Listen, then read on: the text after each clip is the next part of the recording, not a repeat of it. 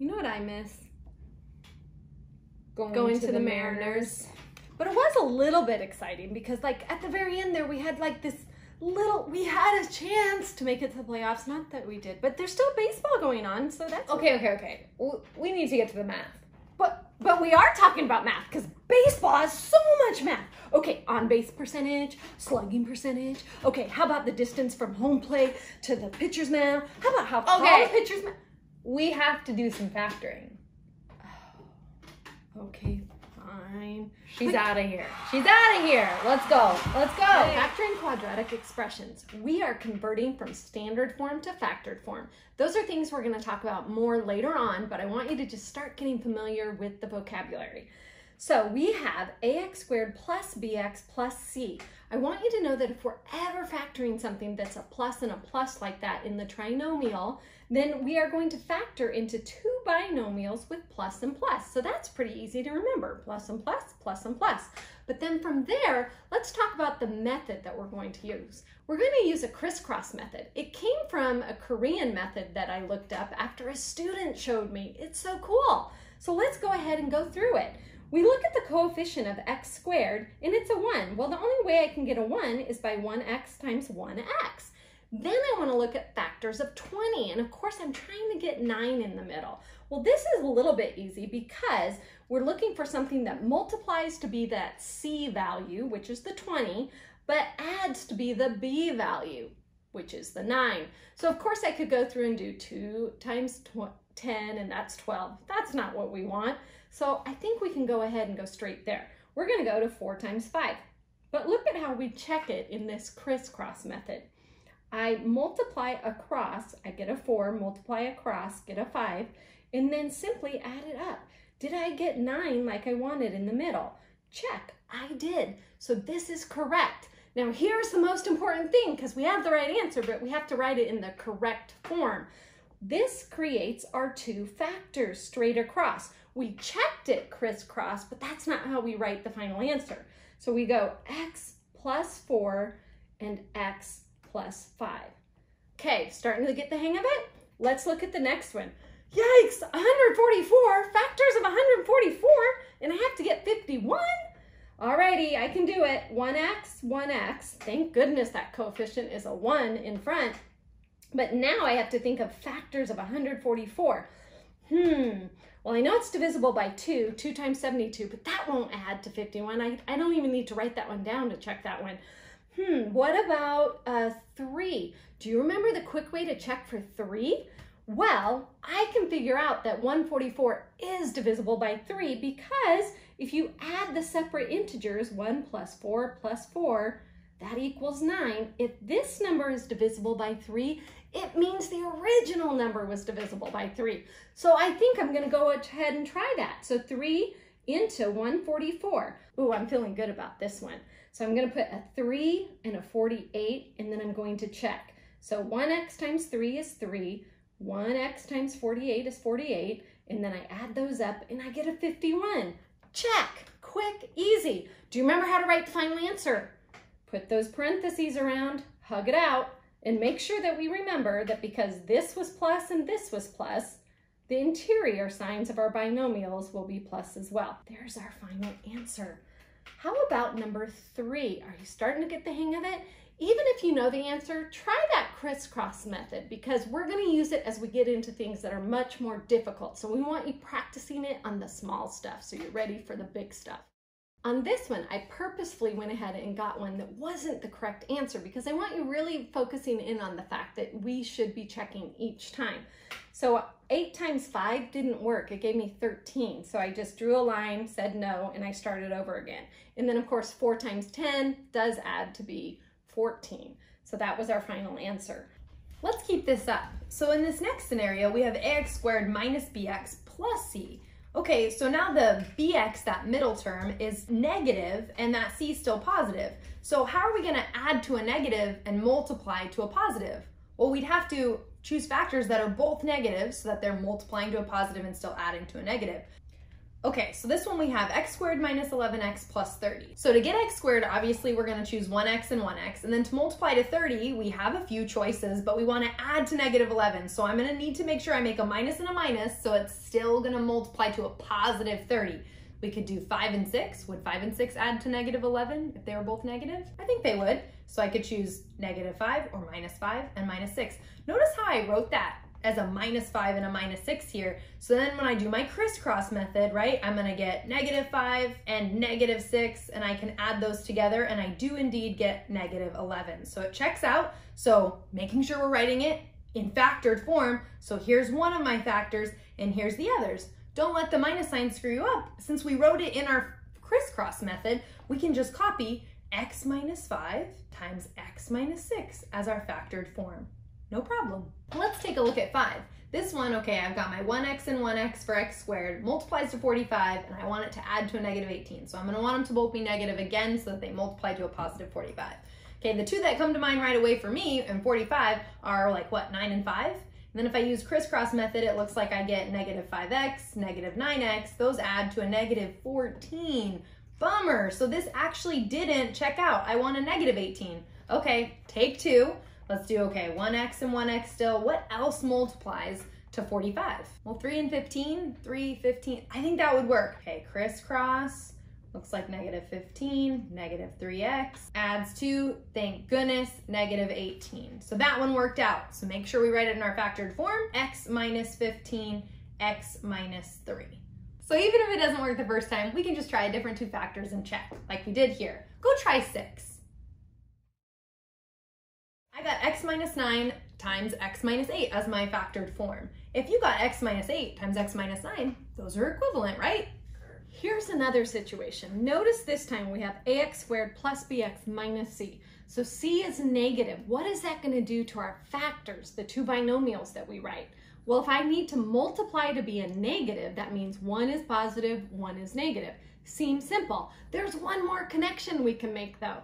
If b is positive, then I would want to make the larger factor or the larger product positive. Let's do number seven. Same process, 1x squared, so 1x times 1x, and we have factors for negative 72. I'm just gonna throw it out there, 2 and 36.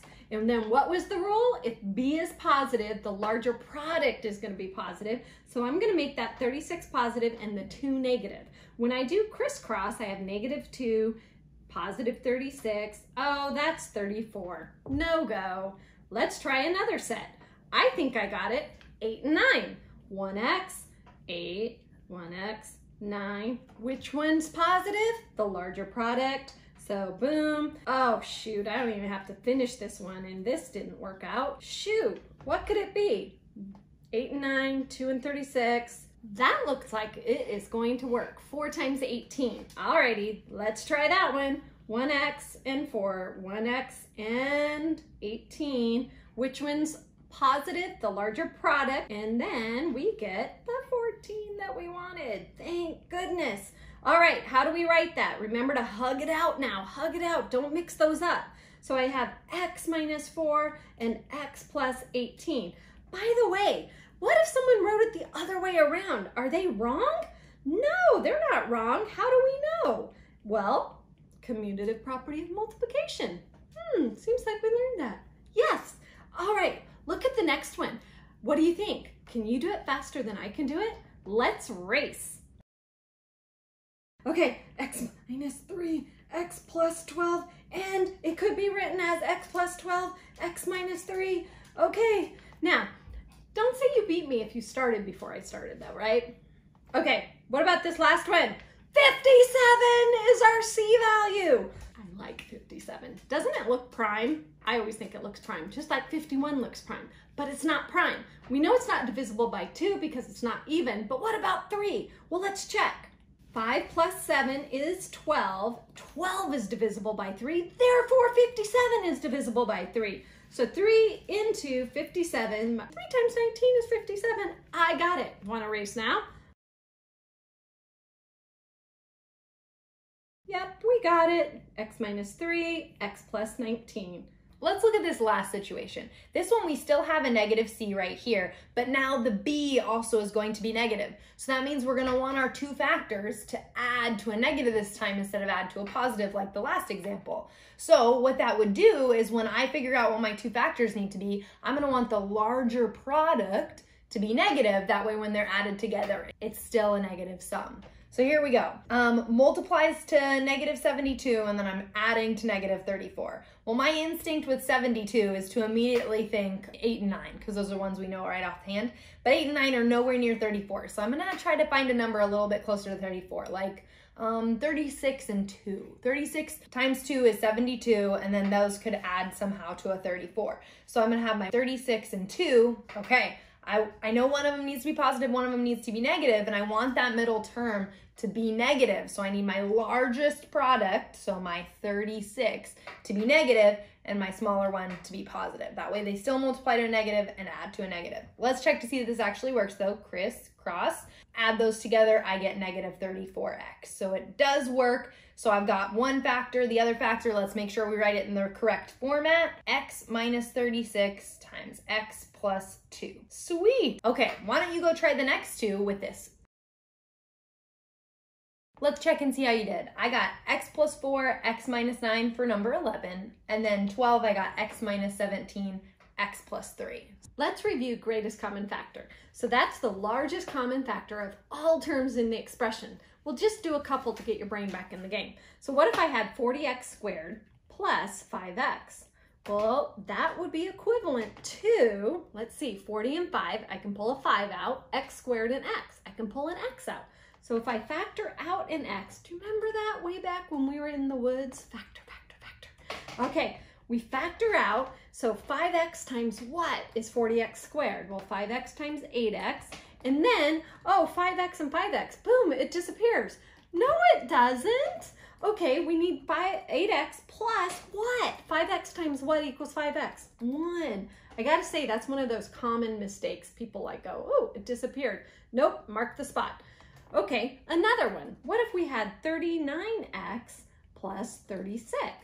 Well, the only common factor there is a 3. Both 39 and 36 are divisible by 3.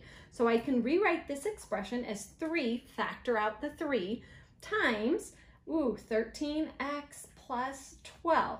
Okay, do you remember that now? Let's look at our next thing. We're going to find the GCF and factor completely. This is a great time to start with.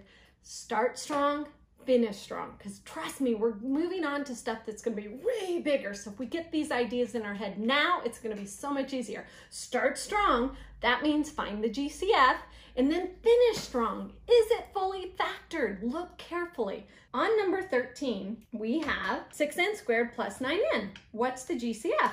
Yep, 3n. So go ahead and factor out a 3n. Also, get used to that word, right? Factor. 3n times 2n would be 6n squared, and 3n times 3 would be 9n. There's our factored form. Now, is that fully factored? Yes, it is. 3n n to the first power, 2n plus 3 n to the first power. Let's look at number 14. Ooh, our trinomial, three terms. This time we can factor out a 4. So let's factor that out. We get x squared plus 5x minus, what do we get? What do we get? 14, yep. 14. Now, here's an example of we started strong, found the GCF, but have we finished strong? No, we haven't finished strong because x squared minus 5x, or excuse me, plus 5x minus 14 still factors. So let's go ahead to our crisscross method, find those factors, but other thing, don't lose the 4. 4 is part of the original expression. We need that in our final answer. So I'm going to do kind of a side note over here. x squared plus 5x minus 14, 1x, 1x, who factors. 14 is negative. Okay, 14 is negative, c is negative, so I know I need a plus minus. b is positive. What does that mean? The bigger product has to be positive. So I'm going to use 2 and 7 and this would be the larger product and it needs to be positive for me to get a positive 5x in the middle. Sure enough, we see that this works. Let's finish factoring, finish strong. So we have our four, that's from starting strong. And then this factors into two binomials, x minus two, x plus seven. If you find yourself ever making this mistake, always throw those parentheses around the crisscross method so that you don't accidentally go crisscross on your final answer. Okay, number 15, what are we gonna do if a is a negative one, meaning that coefficient in front of the x squared is negative? Well, let's just start strong. Let's take out a GCF. Let's take out a negative one. Have you finished strong? Nope. Let's finish strong. Side note that x squared minus 13x plus 12, 1, 1. Okay, C is positive, so that means both signs are pluses or both signs are minuses. But B is negative, it's a negative 13x, so I know that they're both minuses. So I'm gonna use a negative 12 and a negative 1, and boom, I've got that factorization all figured out like a pro. Negative 1, parentheses, x minus 12, x minus 1. Now it's time for you to do a pop quiz. Try and take this really seriously, like pause the video, do the three, and then grade yourself. Wait a minute, these are equations. So we have standard form, and then we're gonna write our factored form. It's no big deal though, we're just gonna write our factors with y equals in front.